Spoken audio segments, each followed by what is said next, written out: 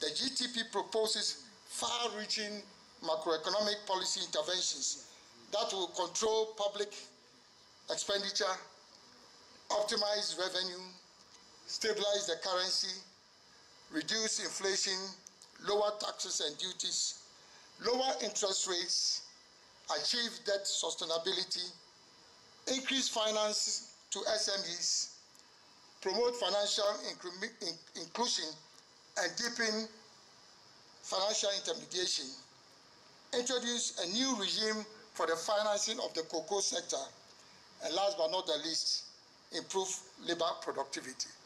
If you ever have the opportunity to read this GTP in detail, you would come to the conclusion that within a maximum of three years, we will stabilize the Ghanaian economy. In addition to these macroeconomic policies, the GTP proposes a comprehensive program for boosting the productive sectors of the economy through industrial transformation, a new agricultural revolution, and aggressively promoting tourism.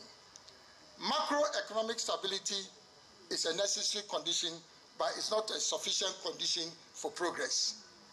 It provides a basis for stabilization, but for you to be able to grow, you need to go beyond stabilization into investments into the productive sectors of the economy. It's the investments in industry, investments in agriculture, investments in uh, tourism that will catalyze the growth beyond the stability that comes with macroeconomic conditions.